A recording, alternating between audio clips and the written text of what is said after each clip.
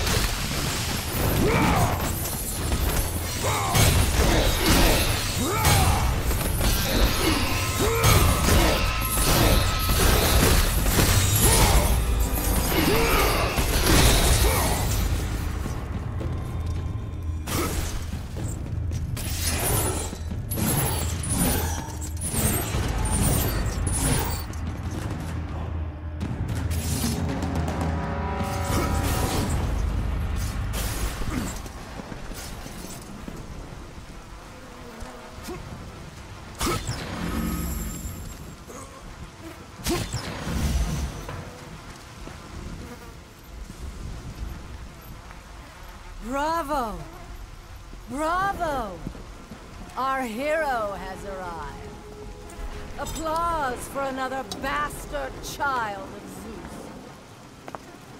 Just in time for the final act. Hera. You look terrible, dear. Still wanting to kill my husband, I suppose? You know I seek revenge on Zeus. Can't say that I blame you. Since you killed my son Ares, fear of you consumes him. His fears will not matter. He is dead. I'll drink to that. Hera, I seek the child, Pandora. Pandora? That wretched little thing my son Hephaestus created? Well, we can't have you do that, my dear. Destroy him.